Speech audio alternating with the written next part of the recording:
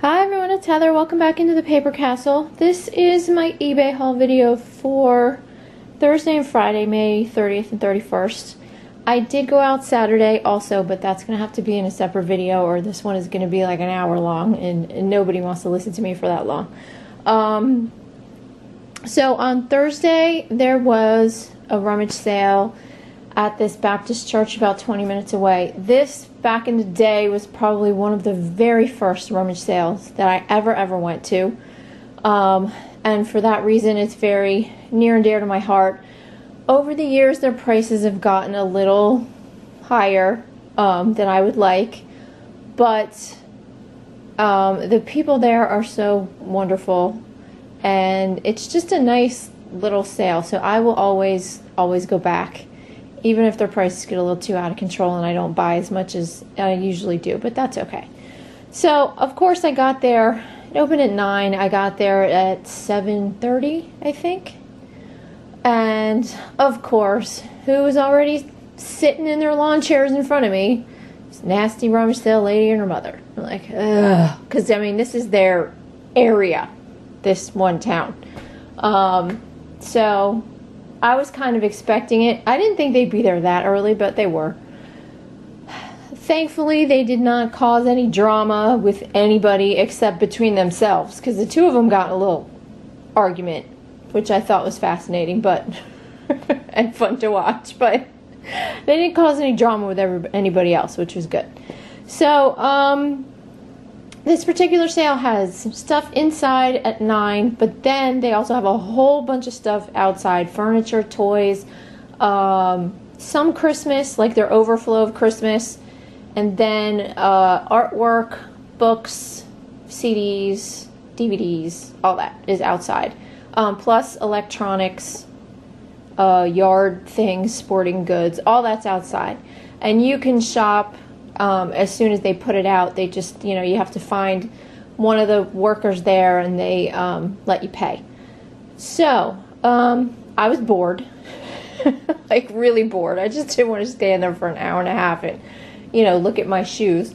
Um, and I just wasn't really into reading right then and there that morning. So I started wandering around and um, didn't find too much in the electronics or toys or any of that, but I did end up going over to the books, you know, looking for Bibles and all that stuff. And I started looking through the CDs, and I did find, well, I initially found five that were really good that I got all excited about, and then I opened them. So, um, these are Solid gold soul, solid gold soul. Yeah, say that five times fast. CDs. They are from Time Life, as you can see right there. As I've said before, some of the Time Life sets they advertise on TV and stuff, they can really bring in um, good money, especially if you can find a whole set. Not all of them, so look them up, but a lot of them um, can be really profitable. So I found these. I initially found five. I looked them up on my phone. The prices were good. I'm like, oh, fantastic. You know, sell these as a lot. And then I opened them up. And three out of the five had no disc in them, which is one of my biggest pet peeves. That and Hallmark ornaments. So you have to, have to, have to check DVDs, CDs, and Hallmark ornament boxes because some of the Hallmark ornaments are so light that you know you just pick them up, you throw them in your bag, then you get home and you open them and you realize it's a box full of flippin' tissue paper, which I have done on multiple occasions now. I don't do it anymore because I've learned my lesson, but um, it's happened to me a lot in the past. So, um, I was very bummed that those three did not have discs in them but uh, since I was bored, I figured, you know, how many other ones don't have discs in them? So there were two boxes full of CDs. So since I had nothing better to do, I went through every single CD in these boxes looking for ones that had no discs. And I think there were probably a dozen or more that didn't have discs. So I had my little pile of CDs and I took it over to one of the guys who was working and I said, just to let you know, said none of these have discs in them. And I said, and by the way, I went through all of them. So the rest that are in there, they do have discs. And he just kind of looked at me and goes, okay. He's like, um, thank you. I go, you're welcome. He's like, uh, did you put them in alphabetical order for me too? I go, no, no, no, I wasn't that bored. I said, I had nothing to do standing over there in line, so I might as well be helpful. Because, you know, these people like bust their butts, and I always feel guilty just standing there in line where they're all running around like, you know, busy bees around me, and I'm doing nothing. So at least I could help a little bit. Um, the only other thing I bought outside other than the CDs, which were a dollar a piece, by the way, and I'll probably get, uh, I'm gonna say 15 to 20 for those two, sell them together, I think, something like that. Um, I bought a Hot Tools three quarter inch curling iron, brand spanking new in the box, but that is mine. Um, cost me five dollars in the store. They are usually forty or fifty, and that's what I have now. So that's my backup for when my other one, you know, blows up. Um, so then church bells rang at nine o'clock. So we all wandered in there, and um, I'll show you what I got. Not nearly as much as I usually get there, but I did okay. I think I spent uh, 31 $38? Yeah. I spent $38 if you take away the curling iron, then I spent 33 bucks on everything. So I already spent 2 on the CDs. Um, got this. This was the only craft thing I got. Usually they have a lot of good needlework kits at this particular sale, and this time it was like they had a bunch of totes full of glitter and glue and styrofoam and feathers. It was just like a mishmash of garbage. So this was the only good thing I found. This is a story storybook felt stocking kit from Hobbycraft. It's got the angel, the tree, uh, Santa riding a reindeer. Brand new and sealed. They charged me two for this, which is a little pricey, but um, maybe 15 on that. It's not really worth all that much. Then, of course, I flew right to the perfume section, which is right near the craft section, and just kind of threw everything in my bag and I sorted it out later. There were a few things I ended up putting back. But I'll show you what got from that section. Uh, let's see. All right. So, first thing I got, trying to remember how much all these things were. Hold on, I gotta look at my book. Okay. This, never seen or heard of this before, but this is you guys can see this here. It's going to focus. It's Nine Flags Shaving Cologne. And this is from, I guess this is the company that makes it. Panache in France. I don't know. But anyway, this sells pretty good. I paid a whopping 50 cents for this. I can't remember prices off the top of my head, but I'm thinking at least like 30, I think even though it's only a little over half full, it might be 60% in there.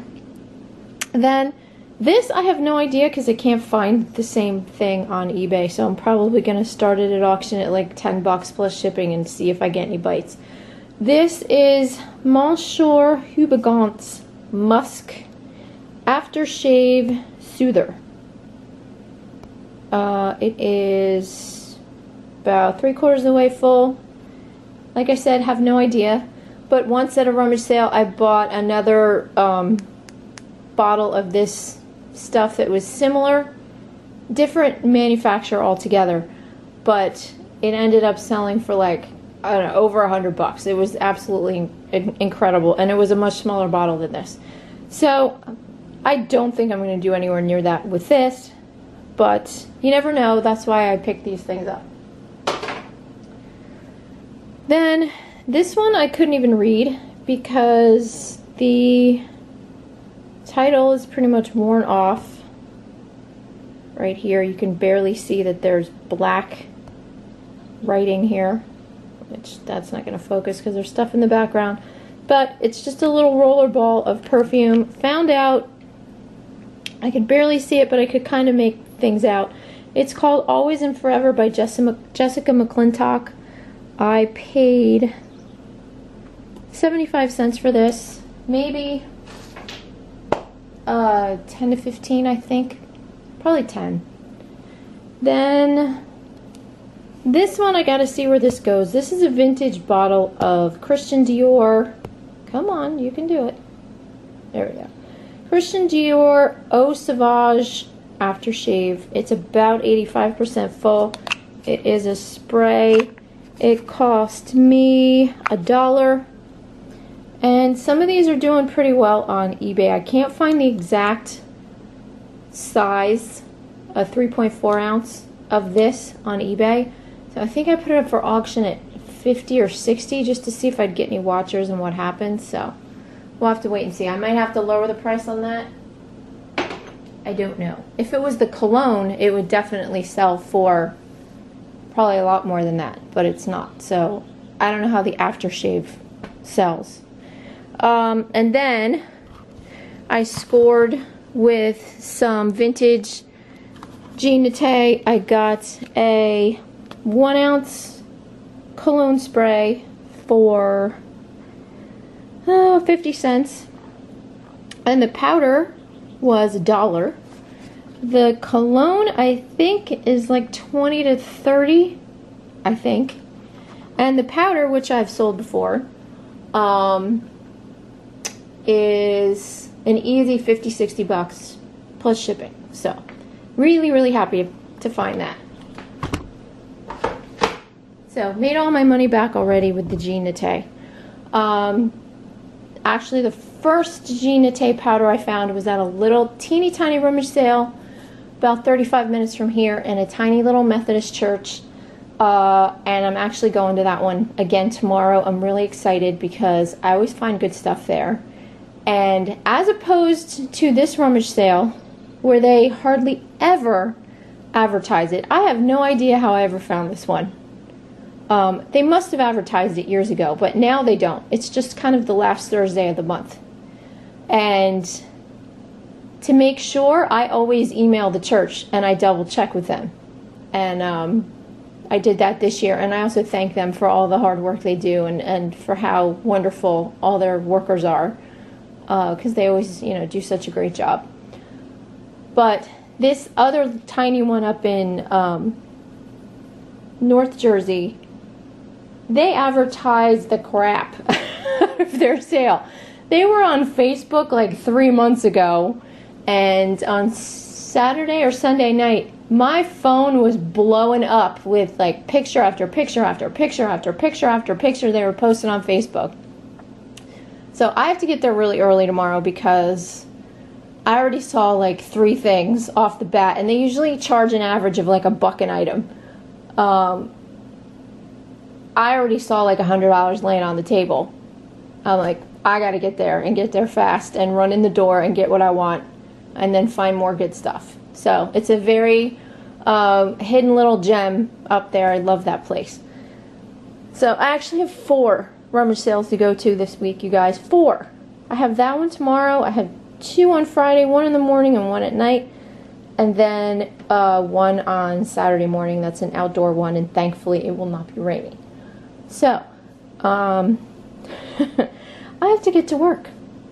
And I have to stay current with these videos. And oh my God, you should see my dining room and my family room. And it's just, it's a thrift store. All right, enough with the babbling.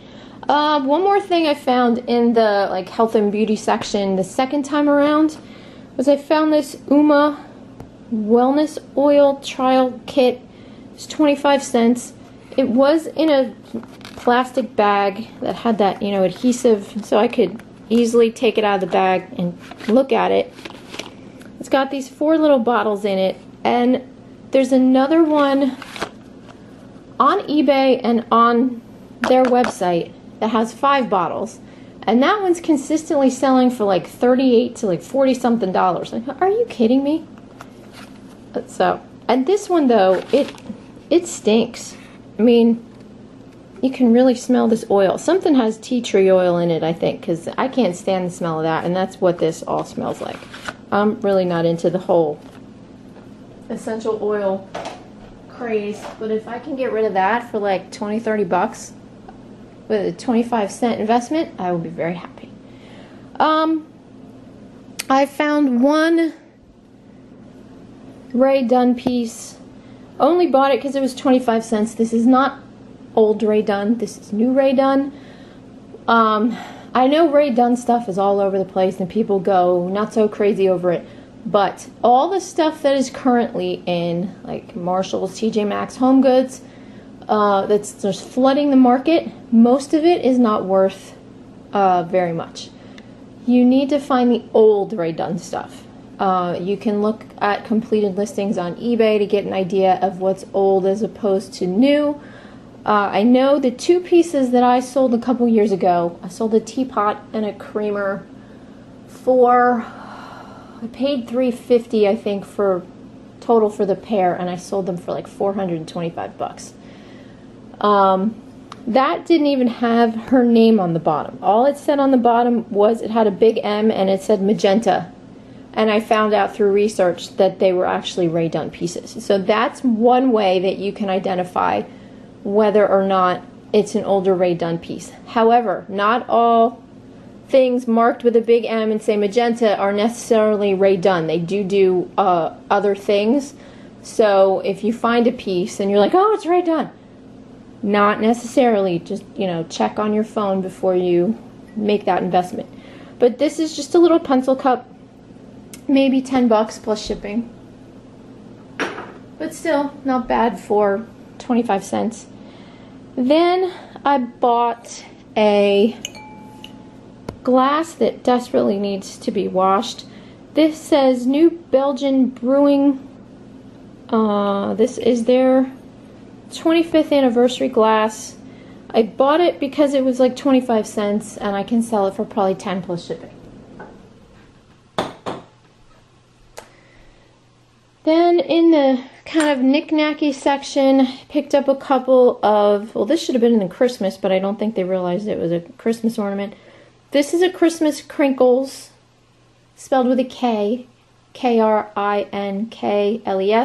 from Department 56. Oh, duh, it's right here, Krinkles. anyway, there it is. Um, I've bought and sold a lot of these in the past. This one I think was part of a three-piece set called Three French Hens because the little hen's wearing a beret. Uh, but this is only one, and I think there might be. I don't know if there's a leaf missing here or not. Eh, it looks okay. Anyway, um, this is just by itself. Actually, maybe it's not part of a set because it has its own tag on it. But it says 1650. I paid. How much did I pay for this? Uh, a dollar. So maybe 10 to 15 plus shipping on that. Then I got this teeny tiny little Beatrix Potter Tom Kitten figurine. Focus. There we go. Um, he was 50 cents? Oh no, he was a dollar. Really? Anyway, it says 1993 FW and Company, which I believe is Frederick Warren or Frederick Warner, or something like that. Um, can't find this exact figurine anywhere on eBay. I'm hoping to get at least 10 plus shipping, but I have no idea if something's missing from here or if you're supposed to put something in there. So if anybody, if anybody knows, please let me know. I tried sticking a pencil in there, but that doesn't work. so, unless you kind of put it the opposite way with the eraser down, but then, you know, you risk, you know, falling on it and impaling yourself if you're klutzy like I am and probably you know, trip and fall on it, and yeah, then I'm in the emergency room. So, I won't be putting a pencil in there, but if anybody else has an idea, any idea, please let me know. Uh, then I went to, um, well, another kind of part of their knickknack section, and I got a bunch of Mexican pottery. these are my three new friends. So these are all from Tonala, Mexico, T O N A L A. One of them's not marked, but you know they're from Tonala just because of the um, style. This is my little chicken or rooster friend, and he is marked uh, right here. He says Arondi, Tonala, Mexico, and then a little bird right there. I paid I paid three for him. Hopefully make 15 to 20 plus shipping. Then I got this lovely toucan. He is the one that's only marked Mexico, but that's okay. Um, and I think this might be the artist's initials right here below Mexico. That one was also $3. So maybe 15 to 20 on him. And then this big honkin' quail partridge figurine, whatever you would like to call it. I'll call it a partridge because of the partridge family. But um, I'll also put quail in the title. But again, this one says Arondi, Tonala, Mexico on the bottom with a little tag. So this one I paid four for, I believe. Yes. So I'm going to probably, hopefully get at least 25 for him. We'll have to see. I'm probably going to put all of them up at auction because they do seem to have a bit more detail to them as far as the painting goes than uh, a lot of the other ones up on eBay. So we'll have to see. And then, keeping with the Mexican pottery theme, I also got a pair of salt pepper shakers. This one I'm assuming is the pepper because it's darker on the top. And they've got the little butterflies. They have the stoppers in the bottom. They do say Mexico right here. They also say KE. Whoops. Sorry guys, I didn't realize I wasn't focusing. They also say KE right here. It's hard to see. KE is for Ken Edwards, if you ever find Tonala pottery. Uh, so maybe think I spent a buck on those. trying to find them. Yeah, a buck on those, maybe 10 to 15 plus shipping on that set. And then the last two things I bought were these really cool coasters. These are from ThinkGeek, which is a fantastic store. I love that store. They have the coolest stuff in there. Um, I think they have a cat. They have an online store. They might still have a catalog. I'm not sure. But then they also have actual brick and mortar stores in certain places, and I've been in a couple of them, and they're great. They're so much fun. Um, these were somewhere two bucks. And what these are are glowing coasters. You've got radium thorium, uranium, and plutonium. They still have their um, testing things, testing strip things in the back. So the batteries are still good. And I found a picture of these online. Whoops.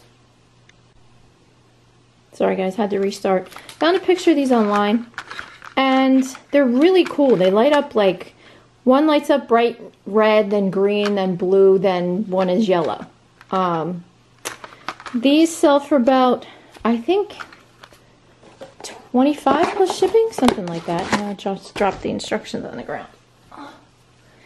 And then, last but not least, and I have no idea what this piece is going to do, so this is definitely going to go up for auction.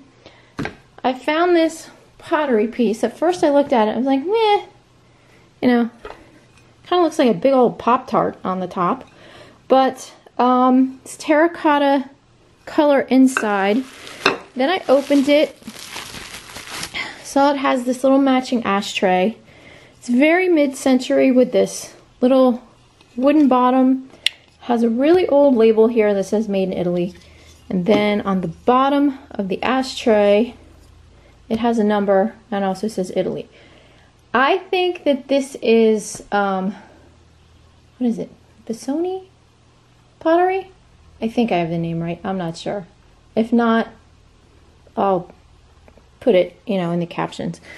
But uh, what I think this is is a cigarette box with a matching ashtray.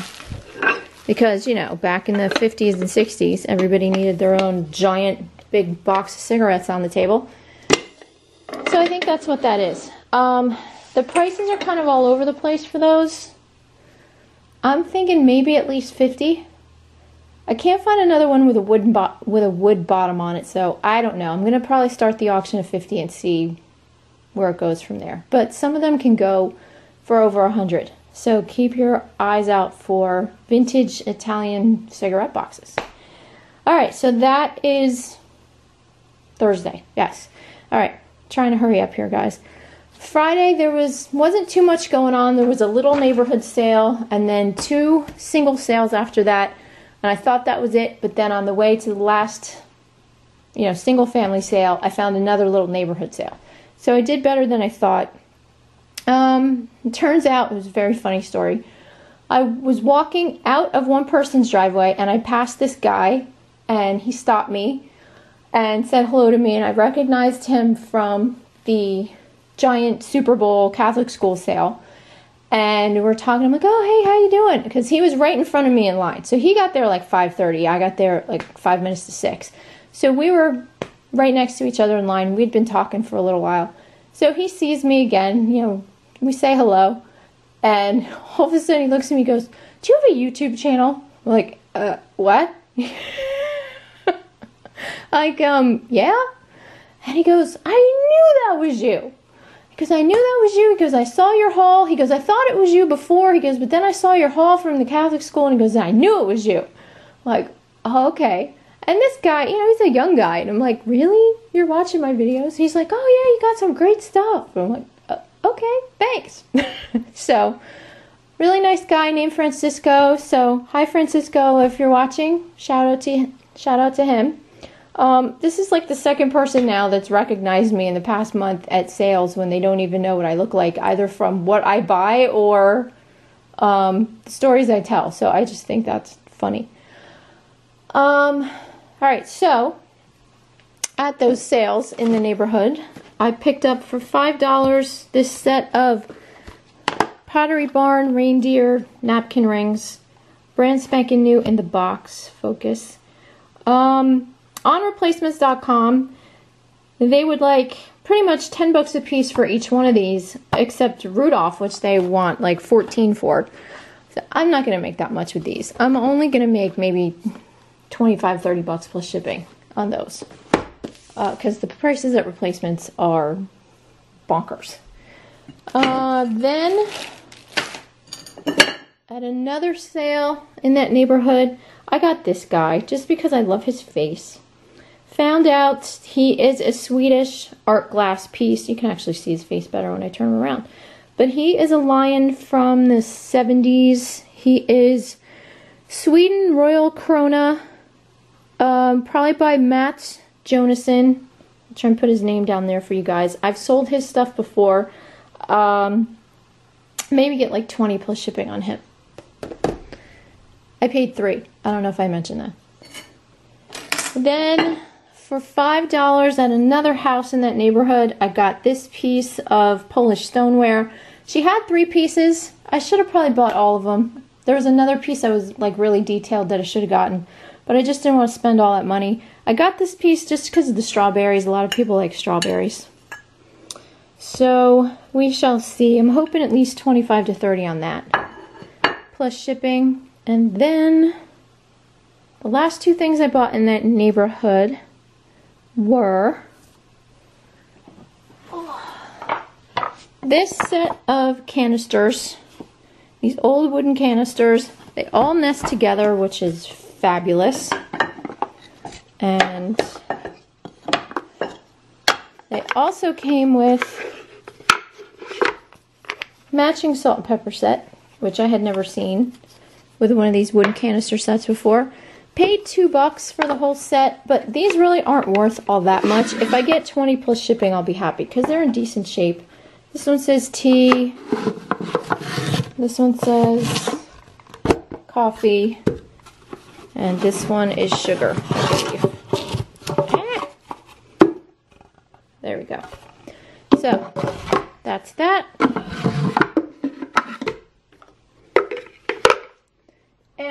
Probably the best thing I got at the neighborhood sale was this woman was selling a bunch of like, you know, primitive style items. And I saw this. Let me lay it on the table so you can see it better. This big, tall cast iron thing. I had no idea what it was at first glance, but looked it up and realized that this is a kind of whitewashed cast iron pineapple doorstop. Because obviously, who does not need a whitewashed cast iron pineapple doorstop in their life? I mean, come on, people. Who can't live without this? I don't know. Anyway, I bought it because on the back, right here, it says Virginia Metal, Metal Virginia Metal Crafters. There we go. Very good name. Sold their stuff before. I paid five bucks for this. The last one on eBay just sold for, I believe, 80 with free shipping, and I think I might be able to get this sucker in a medium flat rate box. So that was a very good purchase. So be on the lookout for cast iron whitewashed pineapple doorstops. Speaking of which, when looking for obscure things, I now have a new like goal that I'm looking for. I'm never going to find it, but I just it's kind of a joke and I think it's funny and my husband and I joke around about it all the time. I was watching Antiques Roadshow one night, and some woman came in with a naked lady figurine. And the guy who was appraising it looked at her and he's like, he goes, oh, naked women. He goes, naked women sell. He goes, the three best things that sell in the antique market, he goes, elephants, naked women, and cats. So he's like, so if you can find a naked woman riding an elephant holding a cat, he's like, you're gold. so that, you guys, is my new, like, holy grail. I'm looking for a naked lady riding an elephant holding a cat figurine. So if any of you guys find it, let me know. Um, and and you've probably got you know a million dollars on your hands. Okay, keep this going so this isn't you know an hour. Um, then I went to a single family sale. For a buck, I picked up this Georgia Bulldogs hat. This is from uh, Top of the World. Right here. I can't figure out if it's used or not. It looks to me like it's a little bit discolored here. So, I don't know, but I'll still make money on it. Um, maybe 15 to 20, we'll see. I might put it up at auction because I can't find another one like that one. Then went to another single family sale and got jewelry. And I know, I don't normally get jewelry. But most of this I'm actually keeping for myself. Um, got this little pair of earrings just because I th thought they were pretty. And they're sparkly, and I like sparkly. Come on, there we go. So those are those. They were a buck. Um, this skull bracelet, this is based on a Shamballa style bracelet. Um, this macrame has these metal skulls with the rhinestone eyes. Maybe 10 to 12. Uh, I think it's like 12 or 13 with free shipping on these because I've seen them. And then I was going to sell these, but now I'm going to keep them for me because they make fabulous Halloween earrings. And if any of you have watched my channel consistently, you know that I am an absolute Halloween nut. So these are Betsey Johnson skull earrings. They've got little crowns. They're really cool. So these will be my October earrings, and they also cost me a buck. Probably could have sold them on eBay for like 10. And then this little guy, I don't know, can't find a name on it, but it also has two little skulls. I'm not normally into skulls other than, you know, Halloween. So I'll only bring this guy out in October. But he actually fits me, which is amazing because I have like absolutely freakishly small wrists. I have to still squeeze him more so that he won't slide around, but he does fit me.